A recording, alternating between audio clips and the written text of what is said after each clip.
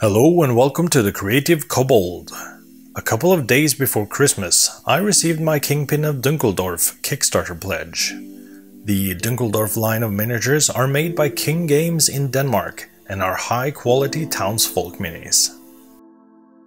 I made a video back in August when they sent me a box of miniatures for a bit of a preview, and I immediately fell in love with this line. Now, I've been quite busy, but have been wanting to start painting these minis, and today's the day. I was able to get all the minis from the newest Kickstarter, and also those from the first Kickstarter. I'll have to get the minis from the second Kickstarter later. But for now, I have a lot of minis to choose from. To make the choice easier, I've already decided to choose one from the newest Kickstarter, the Kingpin of Dunkeldorf. So I'm looking through and seeing which minis feels right today. Eventually, I'm down to three minis. Ragnhild the Mutant is a rough and cool looking character that would be great for a tiefling. Emmerich the Hunter has got some very interesting details and textures that could be fun to work with. But eventually, I end up choosing Claudia Schwarz. There's just something about her attitude that speaks to me.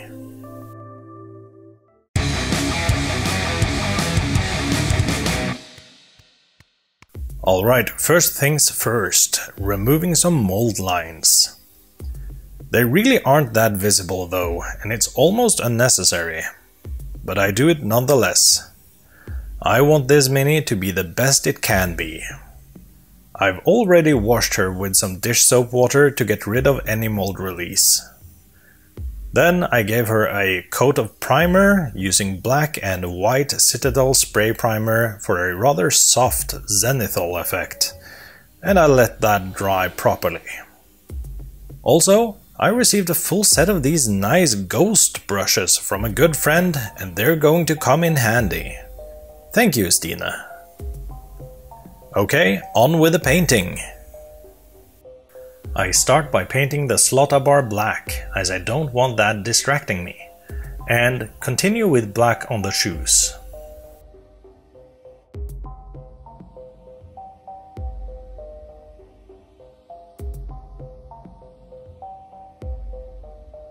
Next, I give the trousers a dark brown base color. It takes a couple of thin coats,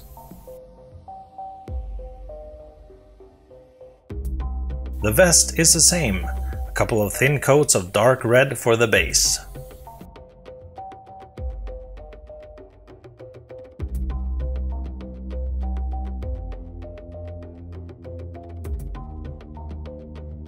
Now for the skin.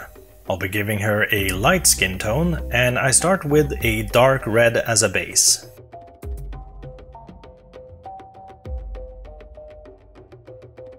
Neck, head and hands are all being painted.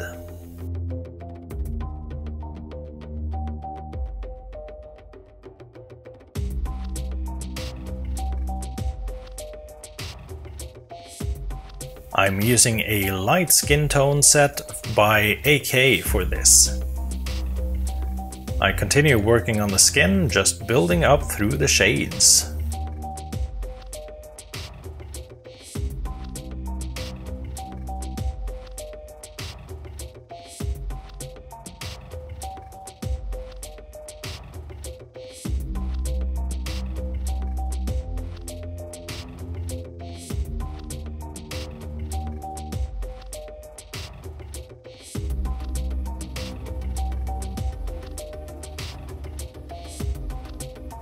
Always keeping light direction in mind, I paint the skin tones in a way that accentuates the shapes of her face.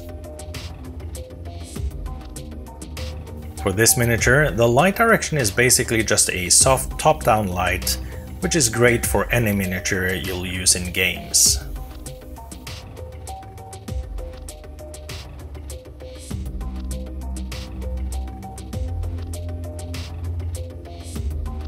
I also add a couple of thin coats of white to those eyes.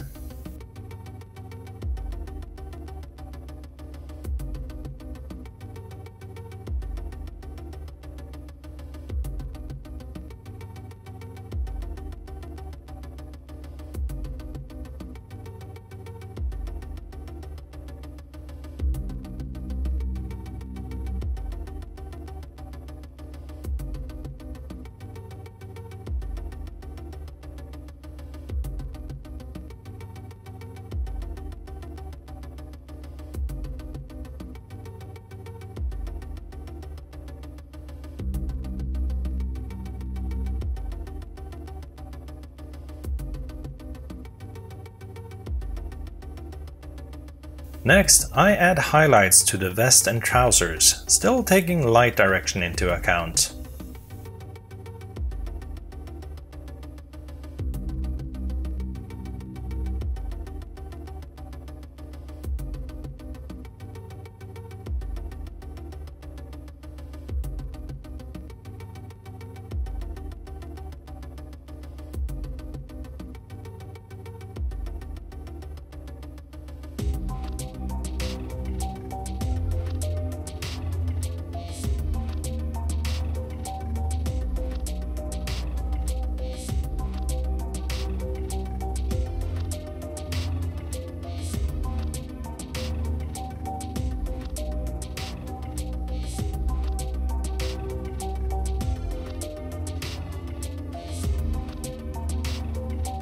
A black base coat for the hair, just like the boots. I think having the same dark color on the top and bottom of the miniature will help tie the entire mini together, almost like a frame.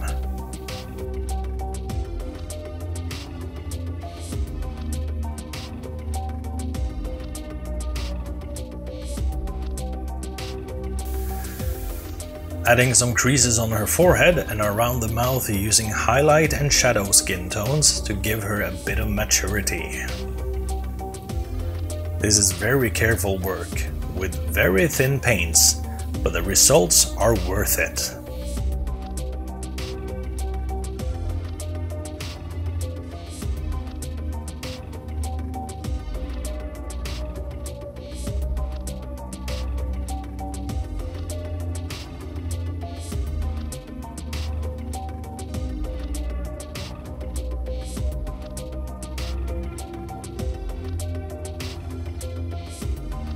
Let's not forget the highlights on that ear.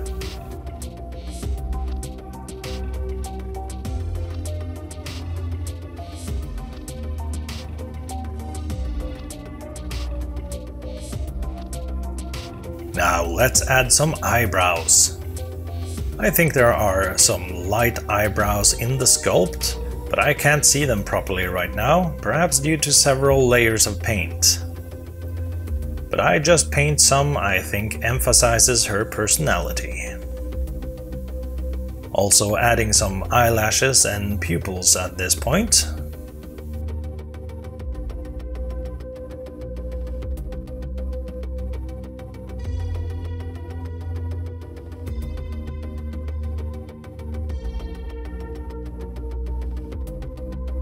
I have to keep my hands very steady for this.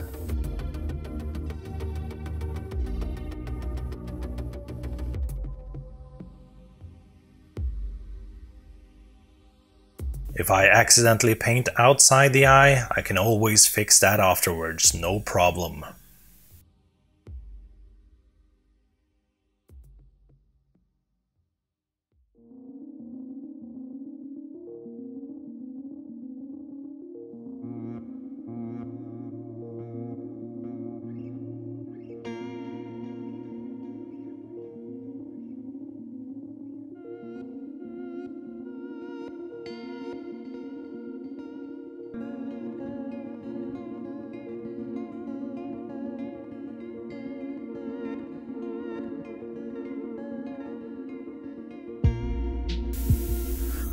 Alright, so I'm starting to highlight the hair. Highlighting black can be difficult. I've chosen a shade of blue for this, and I'm just following the streaks of hair.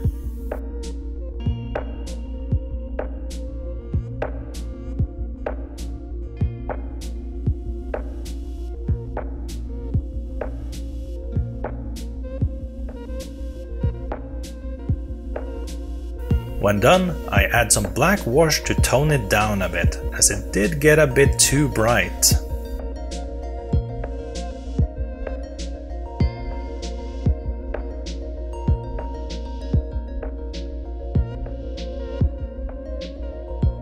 For the shirt sleeves, I started with an off-white creamy color as the base.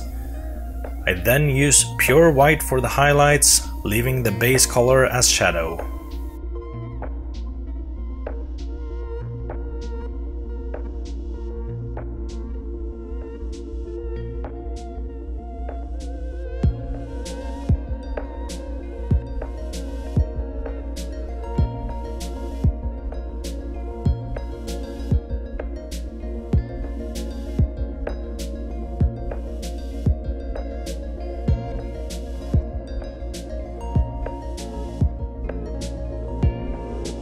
Next, I start working on accessories and details. I base coat most of this black before adding other colors.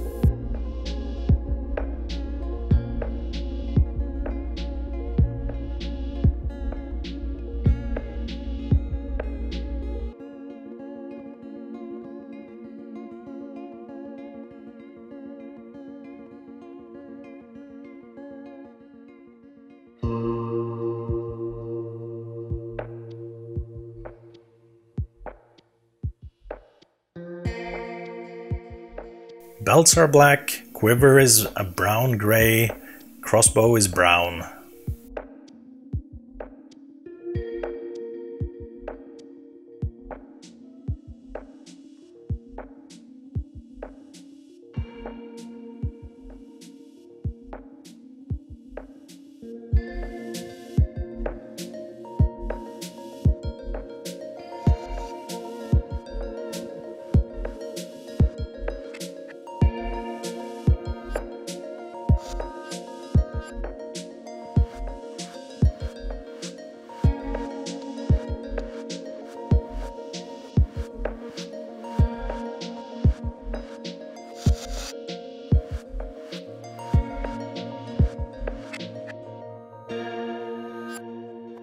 I start adding lighter tones to the crossbow, where the light would hit.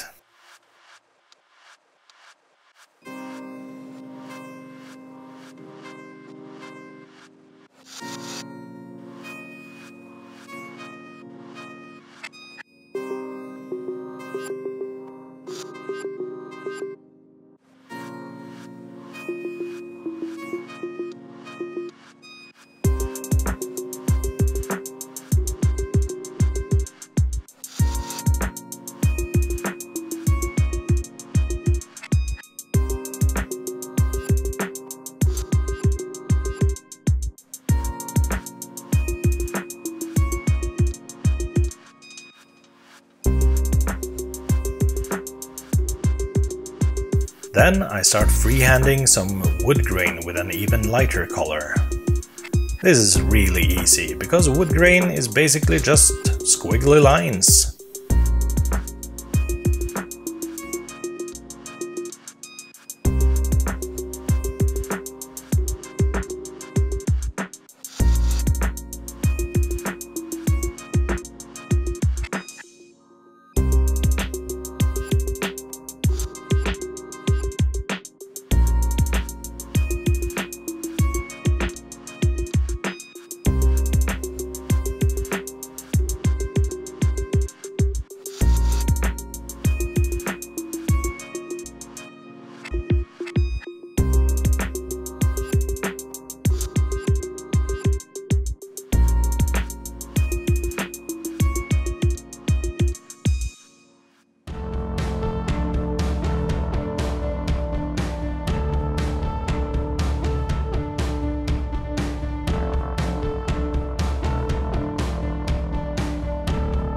Next, I add some white accents to the lines on that vest, gradually going to darker grey where the shadows are.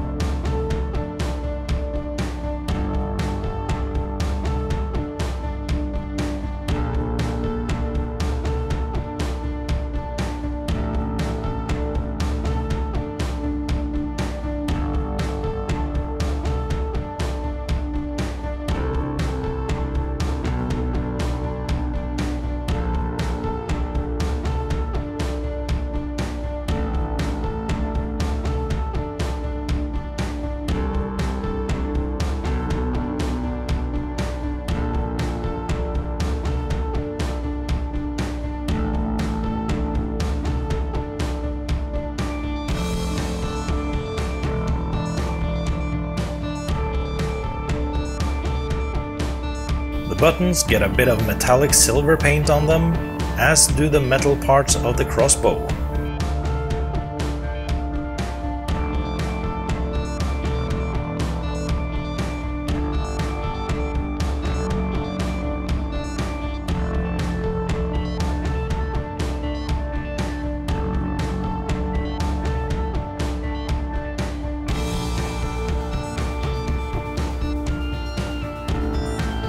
Belt buckles and braziers get a metallic brass color. Also tone the metallic paints down with a bit of black wash, as they're not supposed to steal much attention. Then I just work my way through accentuating the remaining details and doing some cleanup work.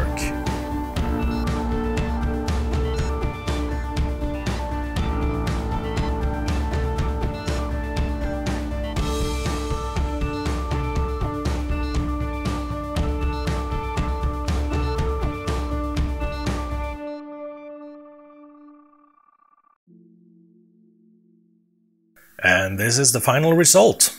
Claudia Schwarz in her full glory.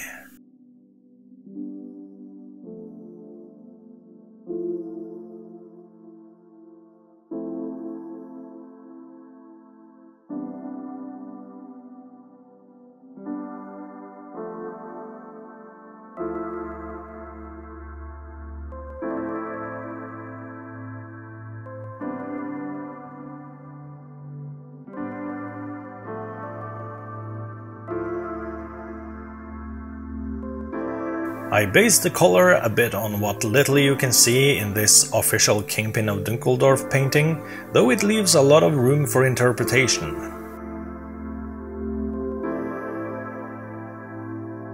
There are many aspects here I'm happy with, but most of all I like how her face turned out. I think it's the best face I've painted, and some of that is definitely due to the great sculpt but also just taking my time with it and enjoying the process. I also think I managed to work with and add to the confidence and sassiness she exudes through her posture.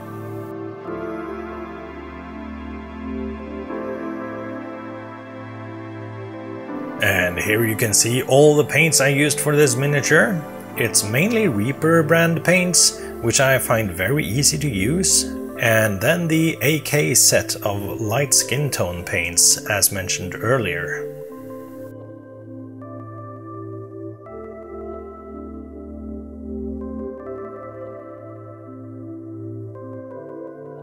I hope you enjoyed this video. It's my first painting video and I did have some trouble with the lighting, uh, so I hope you'll excuse that. It'll definitely be better in the next one. So remember to like, comment, subscribe, ring that bell, all that good stuff. And I'll see you in the next video.